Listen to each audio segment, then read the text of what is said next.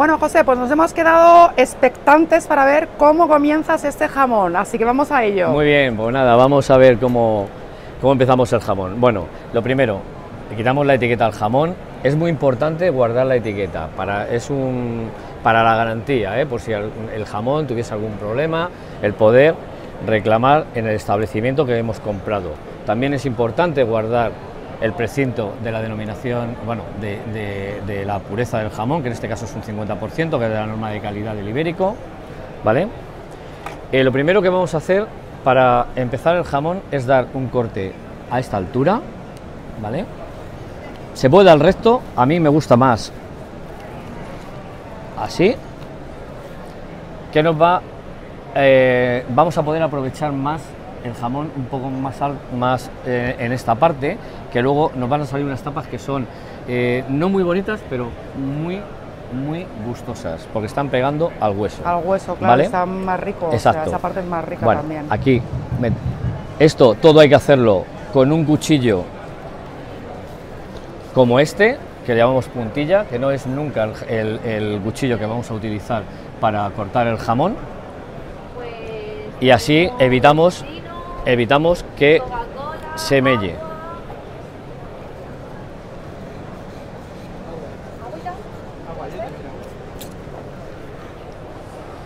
Luego seguidamente lo que vamos a hacer es marcar,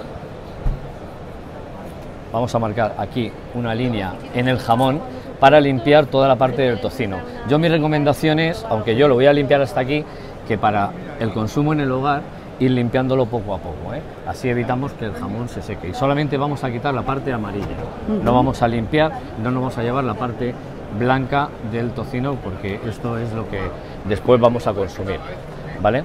Entonces vamos a, a marcar, yo diría que para empezar en casa más o menos lo haría por aquí, ¿vale?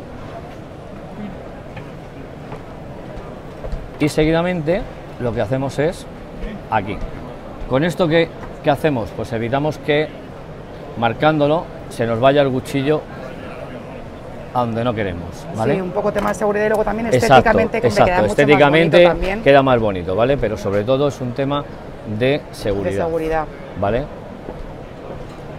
Bueno, esto lo haríamos hasta el final. Ajá. Ahora vamos a darle la vuelta porque esta vamos a limpiarlo por esta otra cara que me parece muy importante, casi más que, que la anterior. Aquí igual, aquí lo que vamos a hacer es marcar el jamón, lo vamos a marcar, pum, pum, pum, pum, hasta aquí.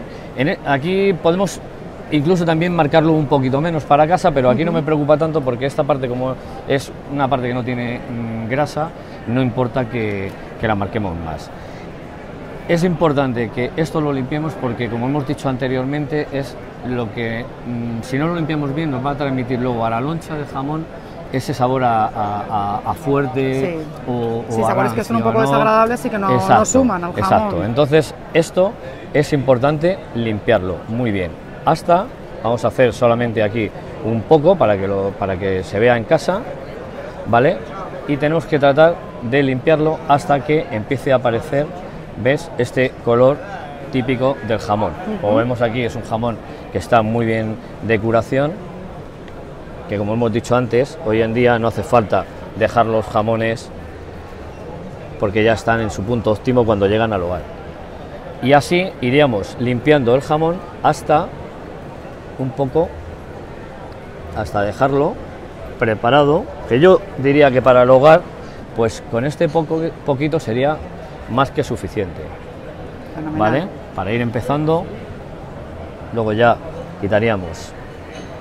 Aquí estamos iniciando el corte, ¿vale? Mm, ¿Cómo empieza ya a oler, eh, José? ya- ¿Cómo eso- empieza ya a oler? es otra cosa, Madre ¿eh? mía. Sobre todo a estas horas. Madre mía. Sobre todo a estas horas. Bueno, Qué luego maravilla. también esta parte de aquí abajo la limpiaríamos, aunque esta parte la podemos consumir después. Y ahora el inicio del jamón para casa, con esto sería suficiente. Limpiamos bien lo rancio, o sea, o, o lo amarillo, ¿vale? Y ya está. Le damos la vuelta al jamón, ¿vale? Y a partir de aquí, pues preparamos el plato y a cortar para consumir. Pues ¿Vale, muchísima- Miriam? muchísimas gracias, José. Bueno, como pues nos siempre, vemos luego, ¿no? Un placer estar con vosotros. Bueno, Y nada, os deseamos que tengáis una feria muy divertida y que pase muchísima gente por el stand de Sánchez Alcaraz. Muy bien. Estáis en el pabellón número 10, eh, exactamente en llevarme el pasillo H12. H12. H12. H12. Bueno, jamón lovers, Bueno, pues aquí os eh, esperamos José, a todos, ¿eh? Gracias. A ti. Un besito muy grande. Venga, un Hasta beso. luego, jamón Chao. lovers. chao. Chao. chao.